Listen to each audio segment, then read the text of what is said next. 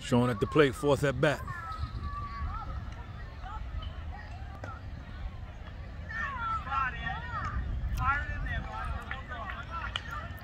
Sorry about that, y'all. We out on Long Island, Glen Clove, Glen Cove, Long Island, Hot Stove Tournament. East Coast Thunderbolts versus the Long Island Ducks. I think the score is like 21 11, showing them winning.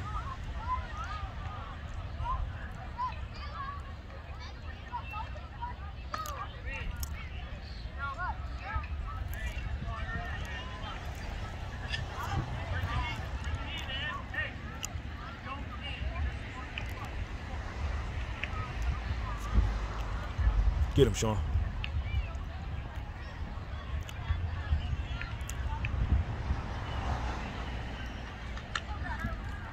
Walked him.